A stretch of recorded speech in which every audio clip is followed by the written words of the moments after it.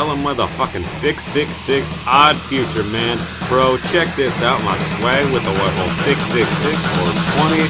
Holla holla get dollars. Smoke weed every day. Damn, son, where'd you find this?